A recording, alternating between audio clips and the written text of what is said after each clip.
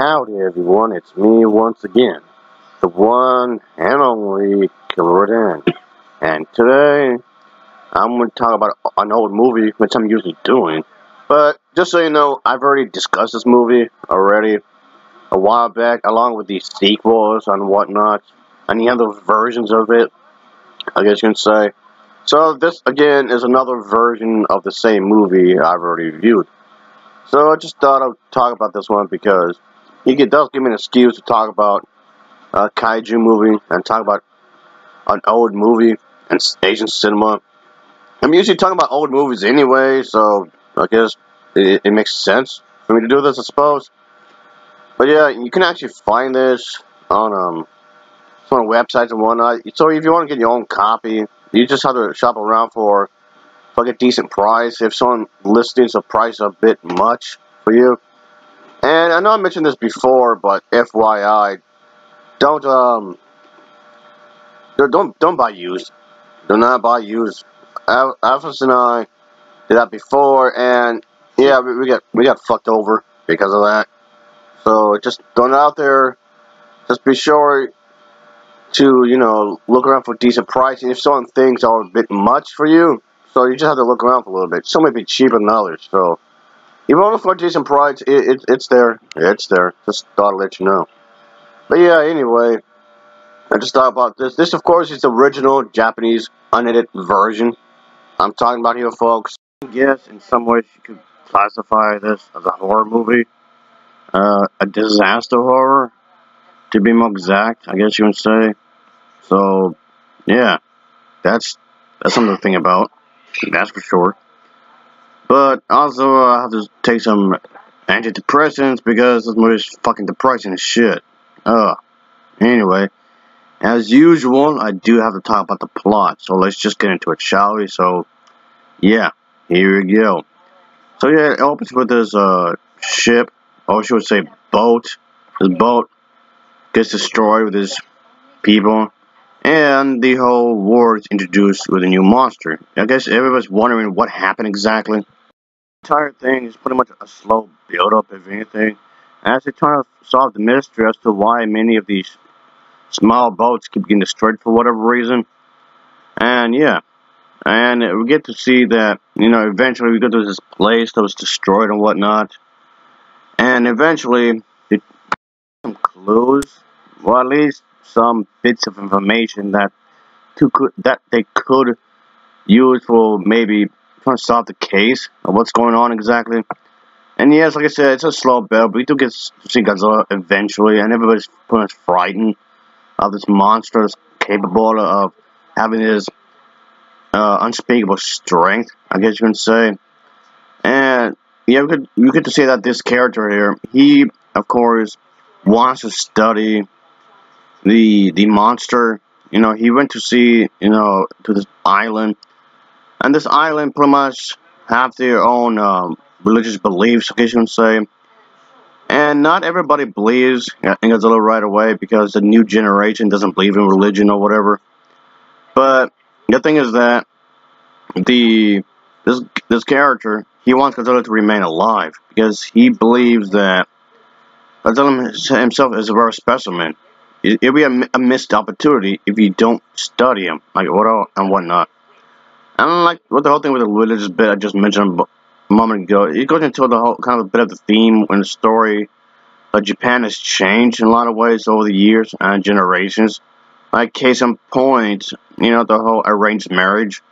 Emiko over here is technically cheating with this guy, yeah, with this guy and whatnot. Yeah, this is her, or supposed to be her husband, but she's cheating on him with the other dude I just showed. So yeah, I mean technically that, that makes you a cheater, sure. But point being is like the old ways don't work anymore, and that's definitely reflected here, folks. We actually see people, people in clubs and whatnot. But this guy, he definitely has an important part of the story and whatnot.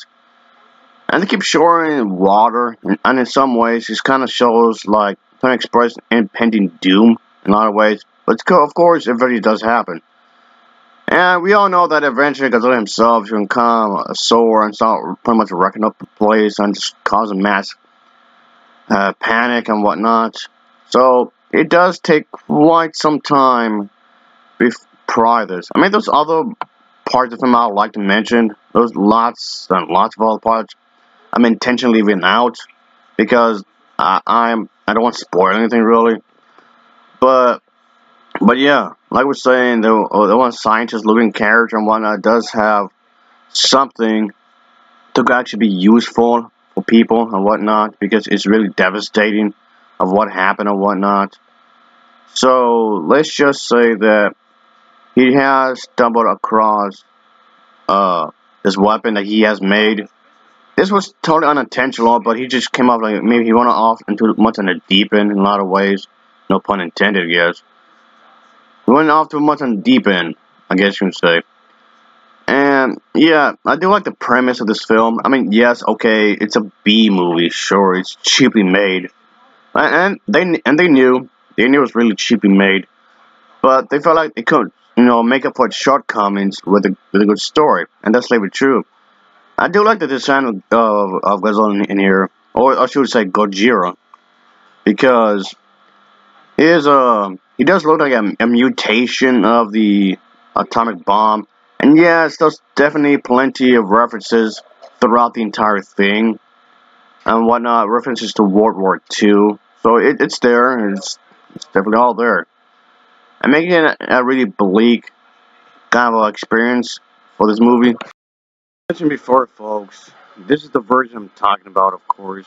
And yes, there's actually a whole featurette detailing the uh, type of effects that were that were introduced by the special effects director and and other people that would be talking about this kind of a thing. And yeah, there's even a, a new interview with this Japanese critic as well, and also an interview with the legendary Godzilla score uh, composer, and of course, you know, just to name a few things. There's also the um, an audio commentary as well uh, from this film historian.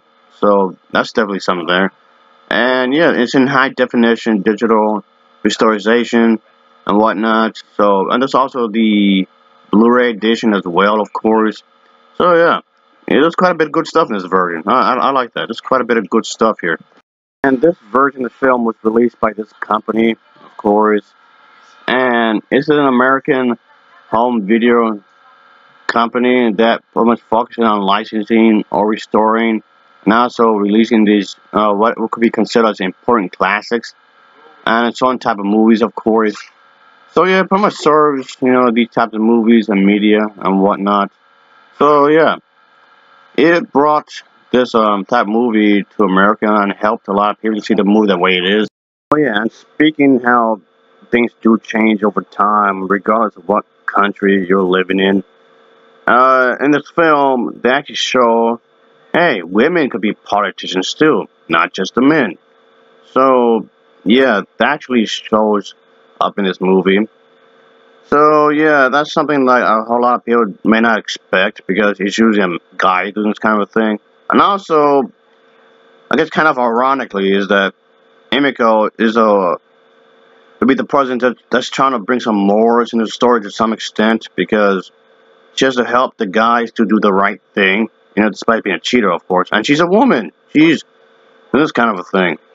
So those quite a few things. Okay, I just rephrase that. A lot of things that a lot of people don't bring up when it comes to a lot of these types of movies.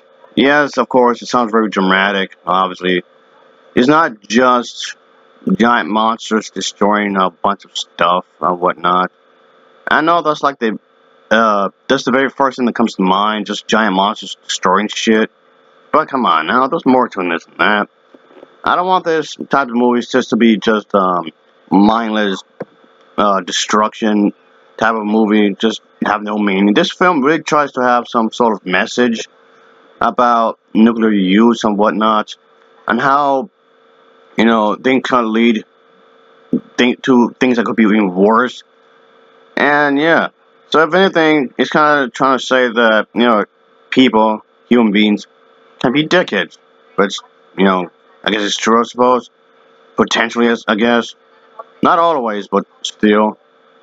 But anyway, you know, It's trying to make a comment on on a nuclear war or just war in general. I guess you can say. But yeah, there's a bit of human drama in here, which I guess uh, I guess you can say is, is ignored by a lot of people and whatnot. And one thing, a lot of people seem to believe that this film, a lot of people felt that this film, or at least this version anyway, thought it was anti-American just because it spoke against the war. If anything, the director of the movie was blaming both sides in this um, movie. He was saying war in general is hell. It was not saying, it was not trying to pick a side one or the other, anything about it. But of course, people want to take things the wrong way, obviously. Yes, These films can be really political. And yes, having a little films be about political stuff, it's largely ignored by a lot of people. But that's unfortunate because this film is very political. Yes, it is. I just trying to make a commentary about war as a whole, I guess you would say.